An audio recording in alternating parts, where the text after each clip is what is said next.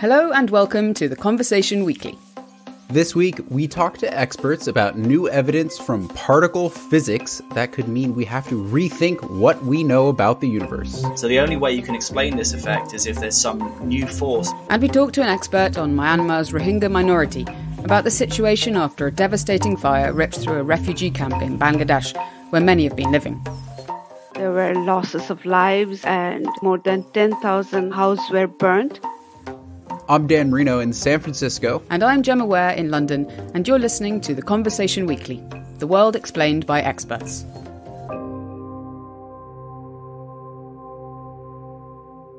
Okay, Gemma, so the first story today is about, well, just the substance of the universe. Nothing big then. Uh, well, actually, quite small. What we're talking about here is tiny, at the subatomic level. Basically, what's going on inside the center of an atom, the stuff which makes up you, me, and everything around us. Essentially, it's invisible to you and me then. Yeah, totally invisible to the naked eye, and you couldn't even see it on a microscope. Physicists know a lot about this subatomic world, but there are so many unanswered questions. And in late March, physicists working at the Large Hadron Collider, a massive particle accelerator at CERN in Geneva, announced, tentatively I should add, that they'd had a bit of a breakthrough. Scientists working at the Large Hadron Collider in CERN in Switzerland have made a breakthrough discovery about how a certain subatomic particle behaves. It could. If what they think they've seen is proven correct, it could mean entirely new physics. Essentially, the model that we use to understand the universe needs a bit of a tweak. Now, people who study particle physics can be broken down into two broad types those who do experiments at places like CERN's Large Hadron Collider, these are the experimentalists, and those who try to generate theories using super complex mathematics. These are the theorists. And we're going to hear from one of each of them in this story. Harry Cliff is an experimental particle physicist at the University of Cambridge. He works at CERN and was part of the team that recently announced this new tantalizing discovery. Celine Boehm is a theorist who studies particle physics and cosmology. She's a professor and head of physics at the University of Sydney. And I'm going to let Celine, who also worked at CERN for a while, set the scene for us. When you go down there, it's absolutely amazing because you uh, you can take a lift and you go down 100 meters. And when the doors open, you're in a cavity, and suddenly there is this massive experiment. And I used to do the visits there, and I used to say it's like a cathedral for physics. It's like a major building in front of you but it's just dedicated to understand the most fundamental aspect of, of the world we live in. The name Large Hadron Collider means there are three terms, large, hadron, and collider. Collider means it's uh, basically a facility where you take particles, you accelerate them, and then you smash them against each other. And the reason why we do this is that we, we hope that by smashing them, we discover even more fundamental particles. Now, we call it uh, hadron because it's a certain type of particles which are called the protons. The reason why we call it large is that it is actually the largest in the world that has ever been built. So you have a tunnel which is circular, which is uh, 27 kilometer diameter, and it's passing through France and Switzerland. And in those tunnels, basically, we, we have pipes in which we have uh, those protons which are accelerated and, and smashed. And we need to observe how it works. So we have four uh, locations in which we have uh, what we call a detector. So we have four experiments. Those experiments are basically detecting the result of the collisions, and they're essentially detecting energy and uh, light, which is emitted through the collision really makes you want to go there. This enormous underground tunnel with all these protons smashing into each other at really high speed. But what is CERN actually looking for? Well, you probably heard of this one. The first and kind of the most famous discovery was the Higgs boson.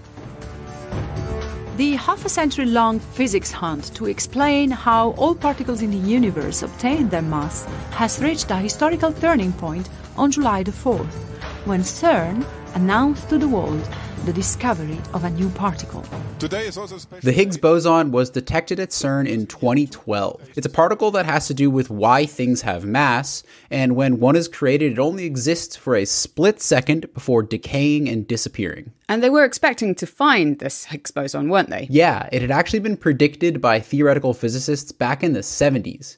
And in fact, it would have been kind of worrying if the Large Hadron Collider hadn't found evidence of the Higgs boson.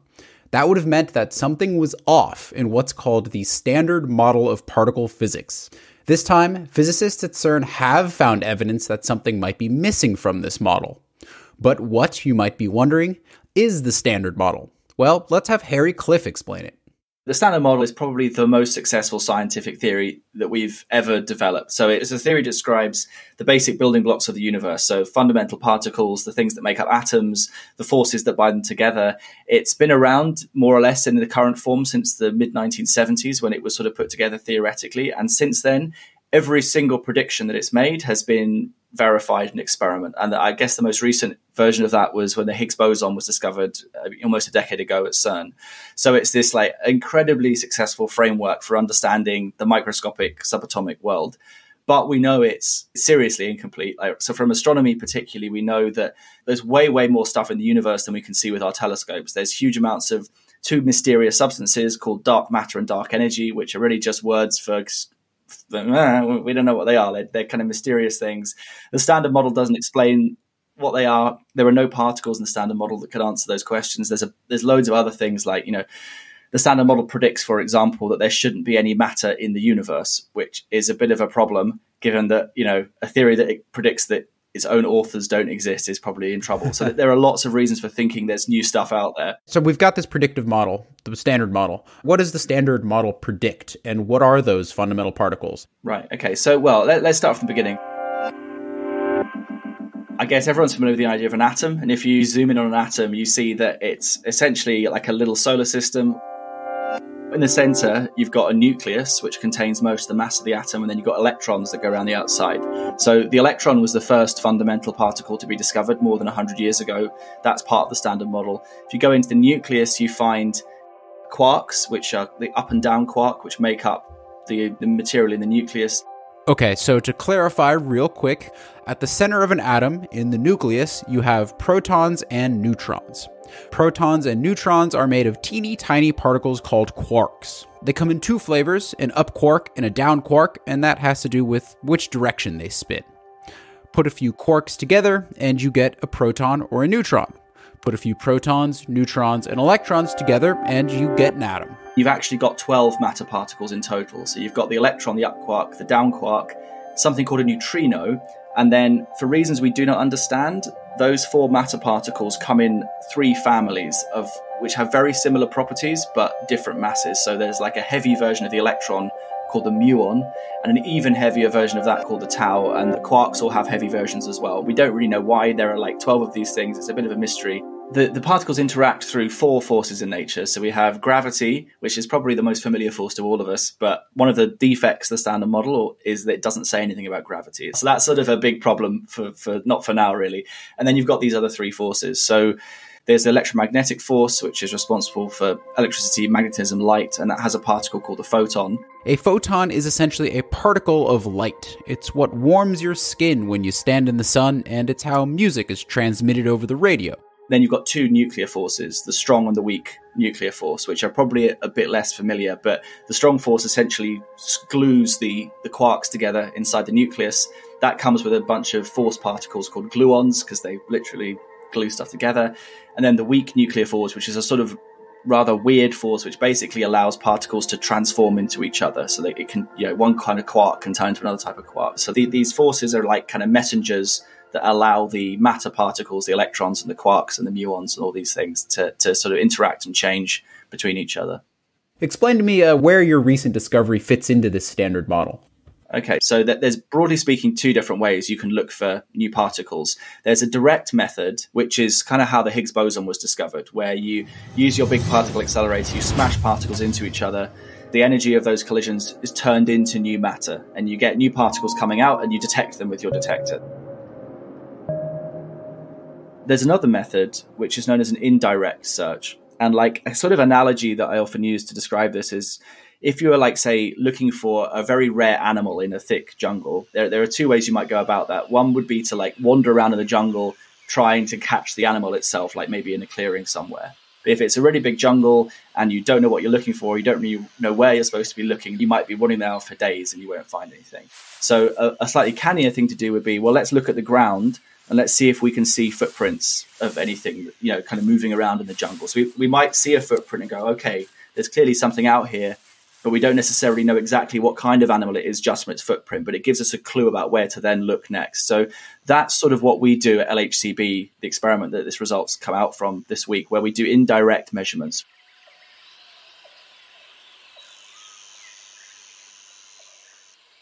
What we're looking at basically are particles we already know about, so standard model particles, and you're looking at how they behave and you're measuring the way they behave very accurately, and you try to see them behaving in ways that you can't explain with your current theory, so sort of deviations from your expectation. And the way this works is basically the specific thing that, that we've seen is a particle called a beauty quark. Beauty quark's a fantastic name. What actually is a beauty quark? So it's basically like a heavy version of the down quark that you find inside every atom. But these quarks don't exist in the universe normally. They're very short lived. You make loads of these at LHCb and they decay. So they're, they're, unstable. They, they produce in the collisions at the LHC. They then decay into other particles. And, and like, so these particles, they're not breaking apart. It's not like a, you know, a car that's falling to pieces with bits coming off it. It's literally changing into something else. So it transforms. The, the beauty quark is, is a fundamental particle, but it changes its nature and it becomes three other particles. Okay, so beauty quarks don't last very long and decay into other particles. And your new finding was about beauty quarks decaying, right? So, what exactly were you looking at with the Large Hadron Collider? What we're looking at is how often they decay into electrons versus how often they decay into muons. And according to the standard model and the forces in the standard model, these two decays should happen equally as often. So if you have like a thousand beauty quark decays, 500 of them should decay to electrons, 500 should decay to muons. But what we're actually seeing is the muon decays are happening less often, and they're happening about 85% as often as the electron decays. And this is really, really weird because the forces in the standard model treat electrons and muons as like identical copies of each other, more or less. So any process involving electron and muons, for the most part, should happen just as often. So the only way you can explain this effect is if there's some new force, basically, that interacts with electrons and muons differently, that's interfering with the process, changing how the decay happens. And this is a bit like a footprint. So we're sort of seeing the, the imprint of some heavy particle of a new force that we've we've never detected before that's changing how these ordinary standard model particles behave.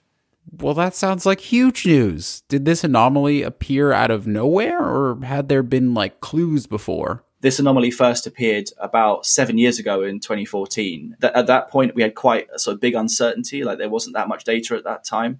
Um, and over the last few years, this anomaly has got more and more precise. And the reason that the sort of big news this week is actually the anomaly is still there, and the error, the uncertainty on our measurement has shrunk to a sort of slightly arbitrary but nonetheless important statistical threshold, which in particle physics terms is known as 3 sigma.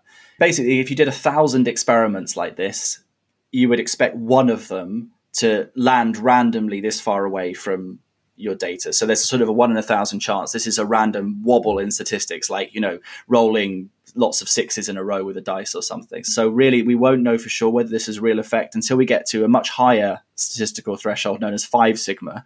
And at that point, there's like a one in three and a half million chance of it being a random fluke. And that's the sort of gold standard for saying, okay, we've, we're really seeing something for sure here. Okay, so you've been measuring and measuring all these decaying beauty quarks, and now we've got some pretty good evidence that something is off.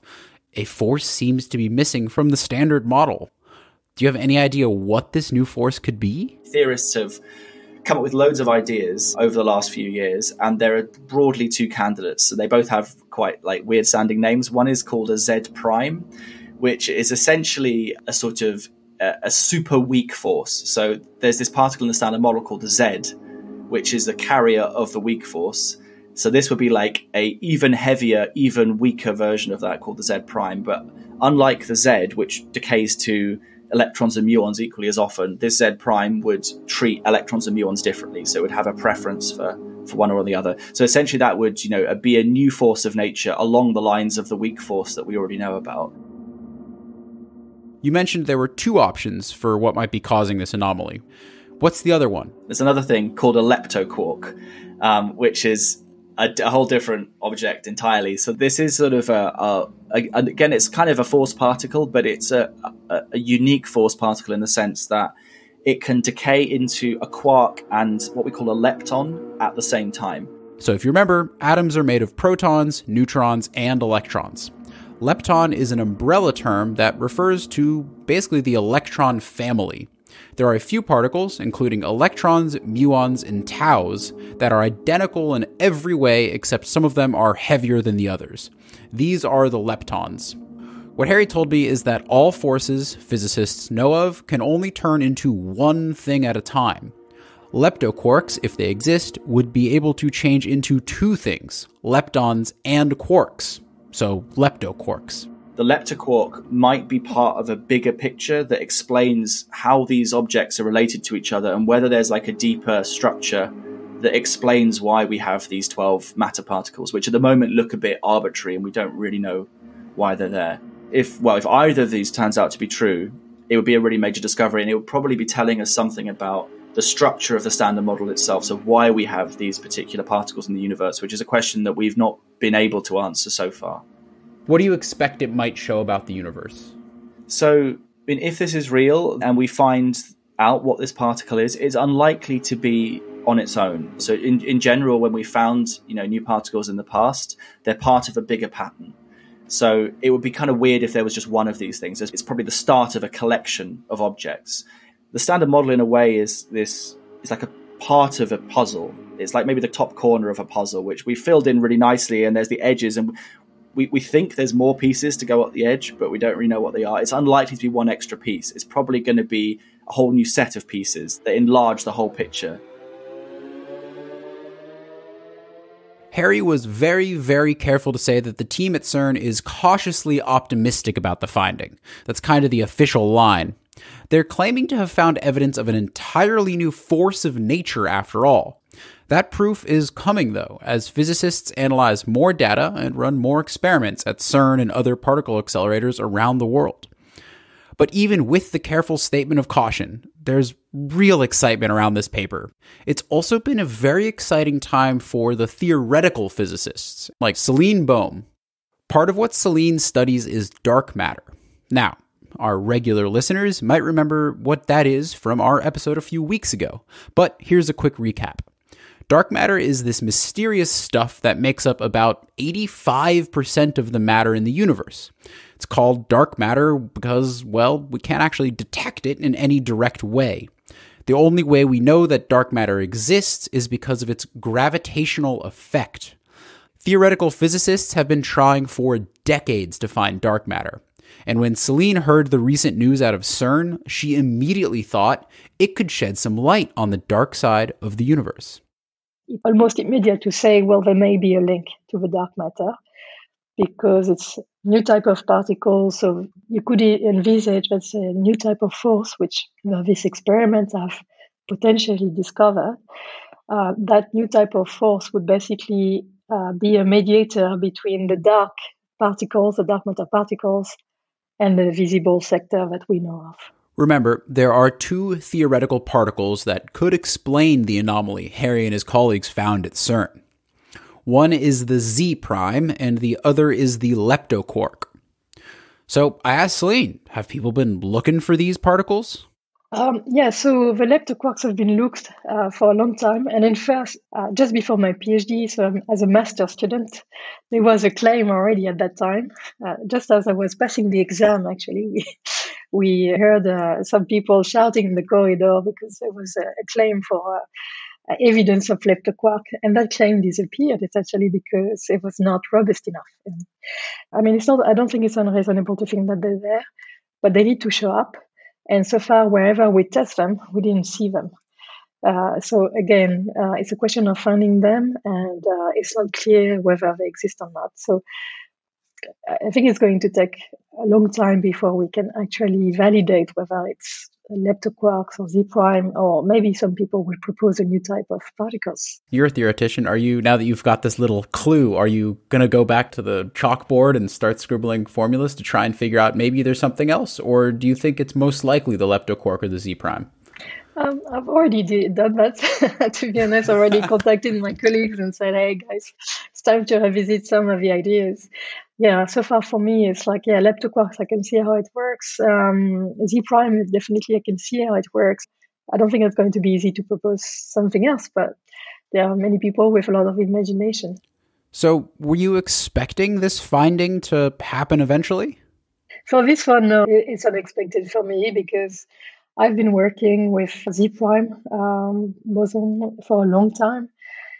And I kind of, I basically decided, okay, they don't exist, and I, I wasted my time. Um, oh no!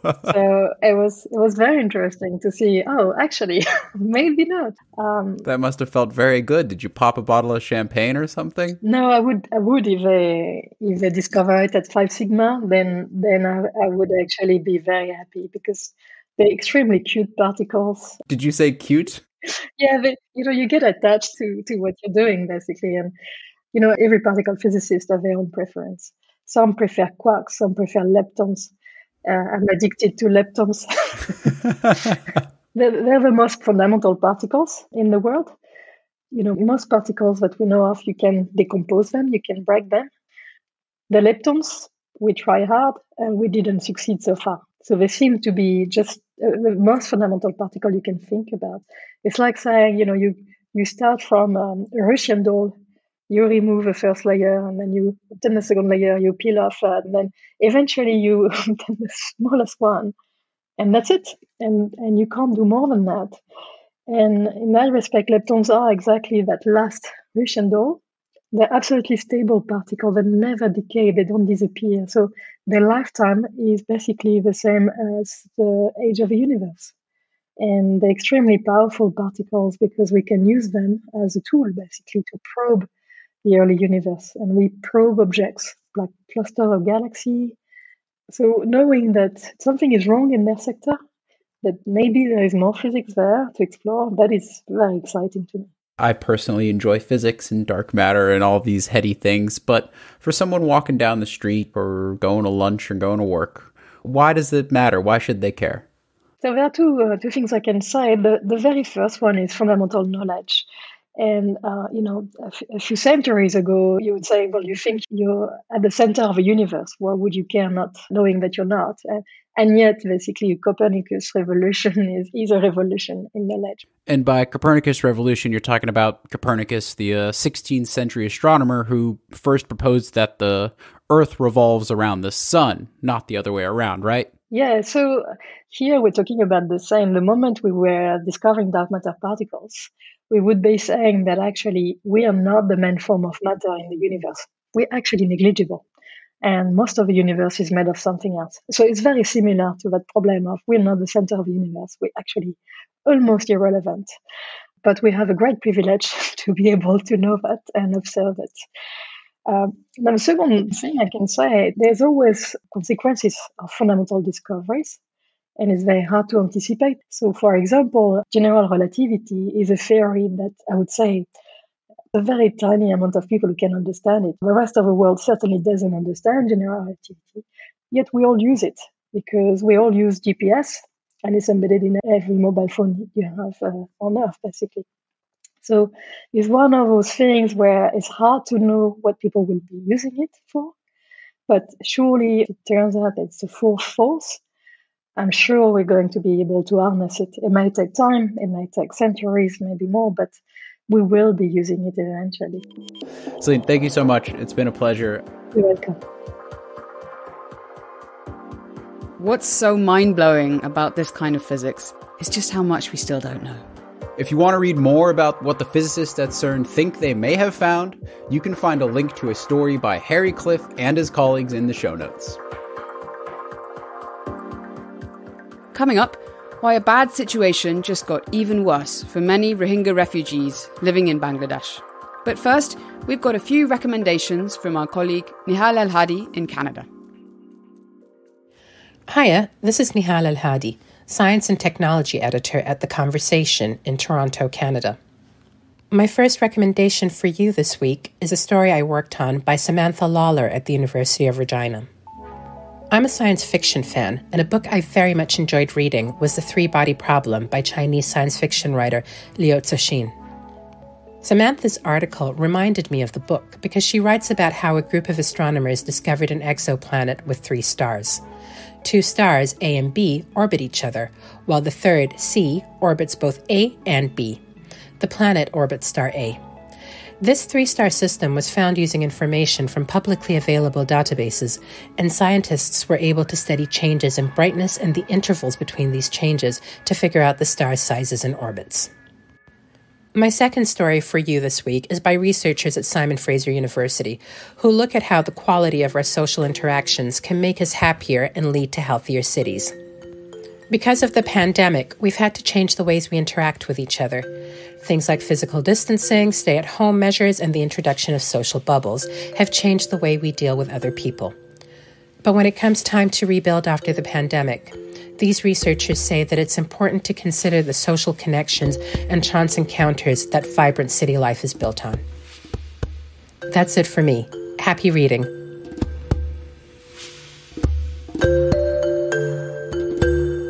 Nehal El-Hadi there, science editor at The Conversation in Canada.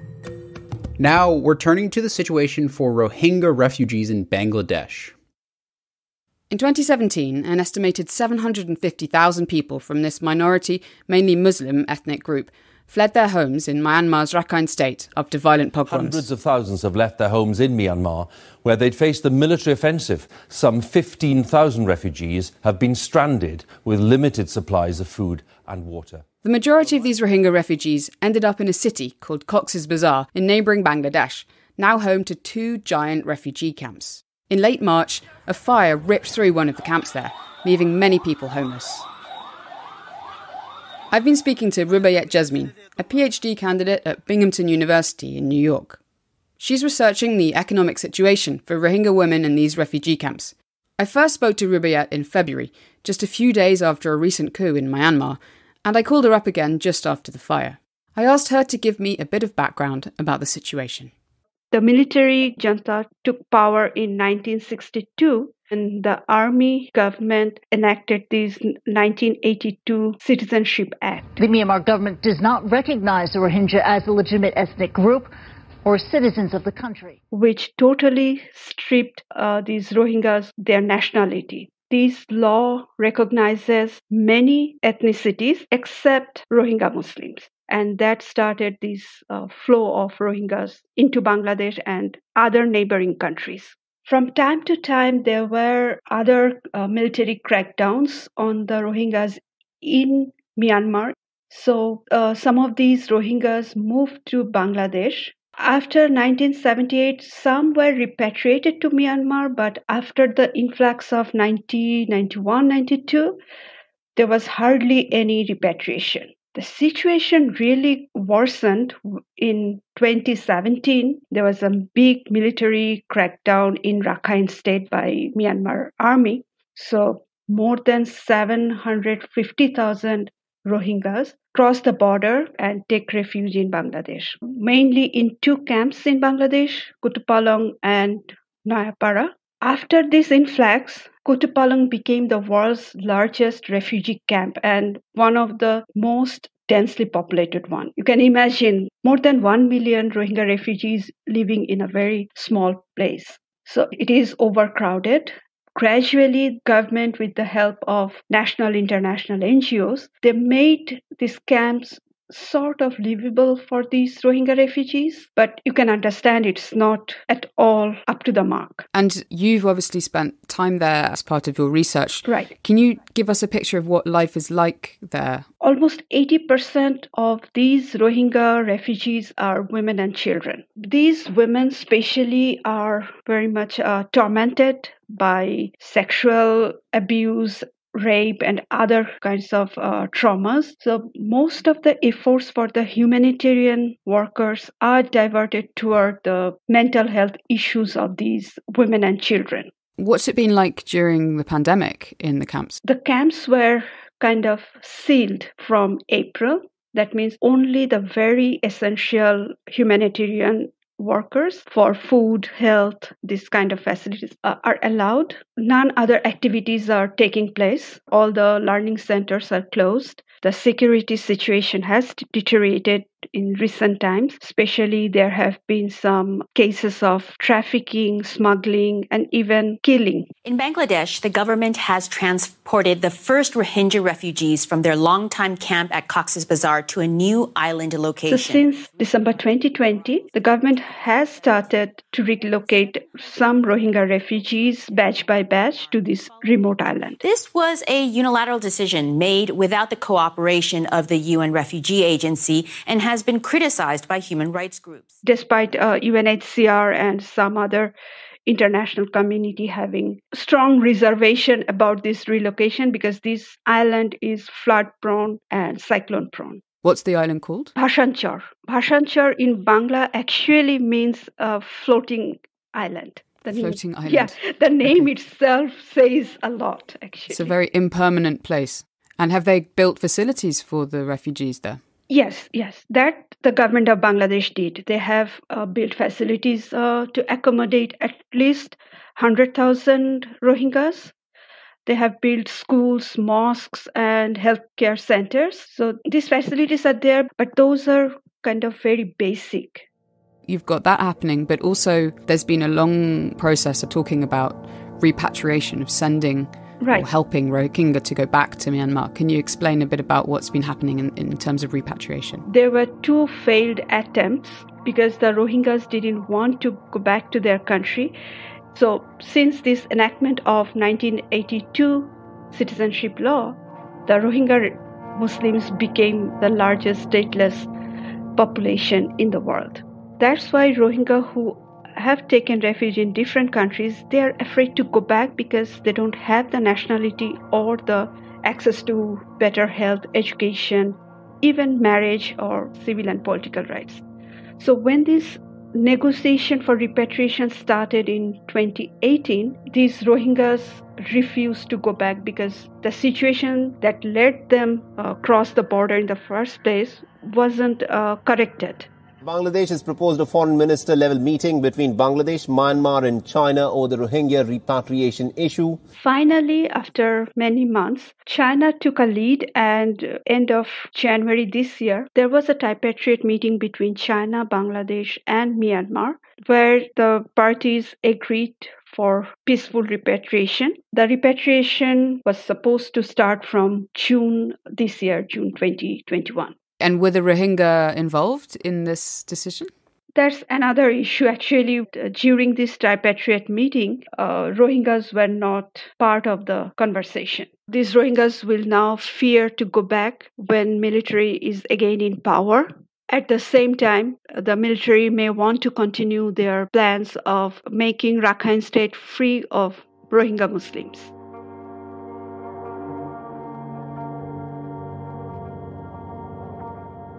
Hello, hello. Hello. Hi, Rubayat. Hi, Gemma. Hi, good to speak to you again. Uh, same here. When we first spoke to you back in February, it was just a few days actually after the, the coup in Myanmar. Two months on, the situation has actually dramatically deteriorated for Rohingya refugees living in, in Cox's Bazar in, in Bangladesh. Flames and panic in the largest refugee camp in the world. The fire started on Monday afternoon and spread fast. There was a, a, huge fire that ripped through one of the camps there on, on March the 22nd. Can you tell us what we know about what happened so far? Actually, the Bangladesh authority is still investigating about the fire, but there were several fires uh, in the past in the camps. You have to understand that these are very densely populated, overcrowded camps. So uh, the houses are like adjacent to each other. Those are made of uh, plastics and bamboos. So those are very flammable, right? But this time there were losses of lives and properties. Uh, official estimate is saying more than 10,000 houses were burnt, and there was a big marketplace that was also burnt. So the initial suspect is that there is a cooking cylinder burst and that started the fire and it very soon spread throughout these houses. But there is an apprehension that it could be done intentionally also. But Bangladesh authority has taken it seriously and they are investigating it right now. And when we spoke back in, in early February, you had said that there had been this agreement between Myanmar, um, Bangladesh, and China to start repatriation. Yeah. Yeah. Has there been any any movement since then, or any sign of what might happen? I haven't heard any such developments yet. If these people are repatriated to Myanmar, they cannot just go back to a place where the condition is not improved since they left. To my opinion, the root cause still is there. This citizenship law unless it is reformed, these uh, people continue to remain stateless and deprived of all kinds of rights, and they don't have their land or home anymore. Several villages have been demolished, and in some places, the previous government in Myanmar had developed other infrastructure. So, where these people are going to go back? I actually read some reports that suggested that the the brutal crackdown of protesters by the junta had actually kind of improved the cause within Myanmar for the Rohingya because there are people who perhaps had been slightly ambivalent about what had been happening to them who who now realized what they'd been going through. Is that something you've also been hearing? Yes yes. It's not only the uh, rohingya muslims that have been persecuted. Uh, there were other ethnic groups also persecuted by the junta government earlier right? Kachin and Christian Myanmar people. So now what these coup kind of brought in is a solidarity among all the ethnic groups. They are now together and fighting against this coup. So I see a very positive sign because now everybody understands what these persecuted uh, minorities have been going through all these years. It's sad it's taken a coup for people to realize that, I guess. But I wanted to ask you finally if you had a message for the international community who could do something, what would you say? What needs to be done? Immediate need is definitely the humanitarian assistance like food, shelter, healthcare, education, right?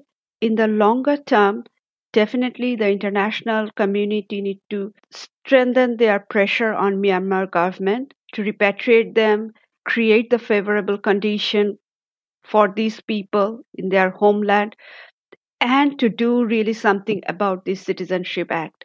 They cannot be strapped of their citizenship forever.